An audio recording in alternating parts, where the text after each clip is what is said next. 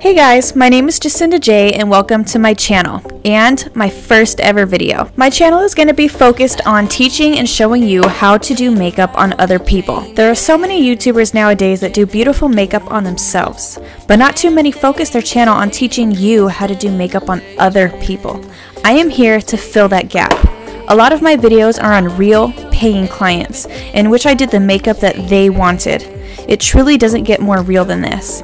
Other videos will be on friends, family, and volunteers, so I can also get a chance to do more creative makeup as well. I hope you enjoy today's world of makeup as much as I do, and I hope you can take something away from my videos, whether you are an aspiring makeup artist or just wanting to learn for yourself. Cheers to video number one. So as you can see here, I have primed and set her eyes to get ready to do eyeshadow. This client has already cleansed, moisturized, and we primed her entire face. I always start working with the eyes first and only putting foundation there rather than the whole face, like most people are used to. There's two reasons for this. As a makeup artist, you are always touching their face, lifting their brows, etc. This would ruin the foundation base if you were to have done that first. Second, eyeshadow fallout. You don't have to worry about fallout ruining anything if there's nothing to ruin. For these reasons, it's best to do foundation last. I do it this way on myself personally as well. This bride wanted a classic bridal style shadow with purples. A classic bridal shadow is usually where it is light, usually shimmer, on the inner part of the eye and darker mattes on the outside and in the crease. Kind of like a half cut crease without the harshness of the actual cut crease. As you can see, I am going back and forth between brushes to blend and then diffuse, slowly using darker shades as we get lower in the crease and then bringing the darkest shade to the outer corner. Here I am using different shadow pans from Coastal Scents. The inner shimmer shadow is Morphe. Once you start working on the color that's going on the actual lid, you now pat the eyeshadow on instead of blend like I am doing here.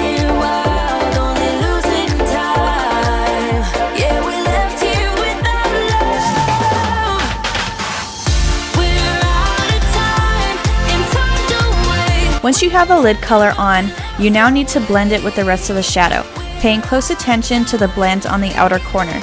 It is always really pretty when some of the shimmer goes slightly into the darker corner and vice versa. So here I am going back and forth between blending and depositing more color.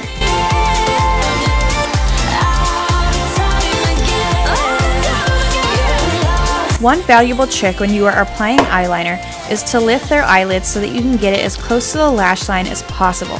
Depending on how fast your product dries, I recommend advising your client to keep their eyes closed after you pull away so that it can dry. If proper drying time is not allowed, it can lead to a line of eyeliner getting in their crease and onto your beautiful shadow.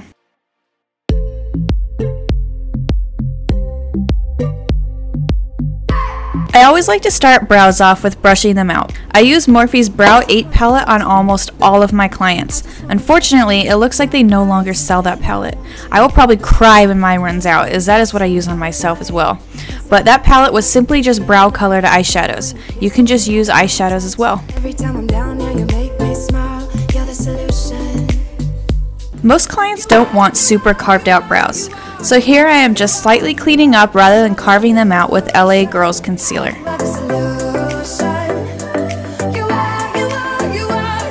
Now I'm going in highlighting the face with concealer. This bride did not want super heavy coverage, so I put concealer first and then foundation around it to keep it from getting too heavy. If a client wants heavier coverage, I will put foundation everywhere first and then highlight with concealer on top of that.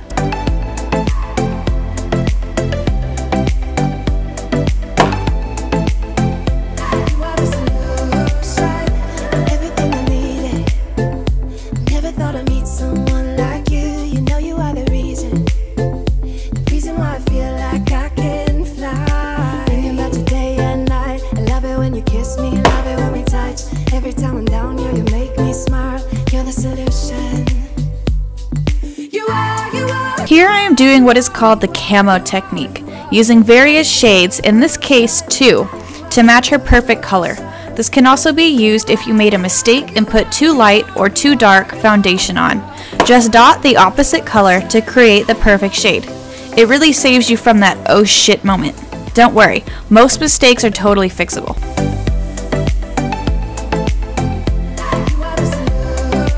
Next is simply just a powder set.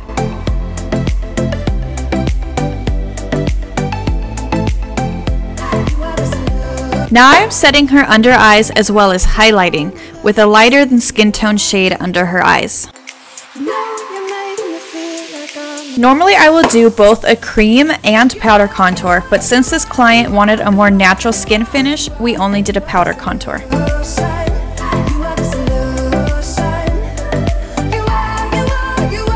I go through phases with how I like to apply blush. At this time, I like to use a smaller powder brush to apply it. There's really no rules when applying makeup. Whatever you feel works. All that matters is you get the outcome you wanted.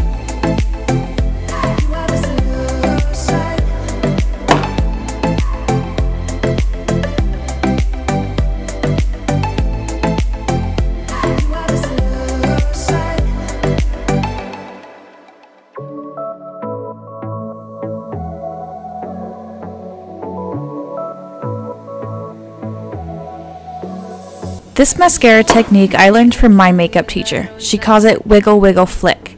Most clients are very uncomfortable having their eyes open for mascara. With this technique, they don't have to. And bonus, it gets the bottom lashes at the same time. After you put on lashes, Advise your client to keep their eyes shut while the glue dries. If they open their eyes prematurely, the lashes may lose their placement and start to come off. When you have them open their eyes, always use the side of your pinky under their eyes to pull so that any glue separates from the top and bottom.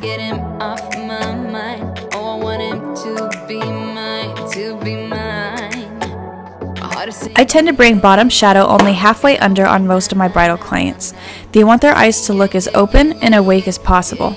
Bringing shadow and liner all the way under tends to make them look smaller.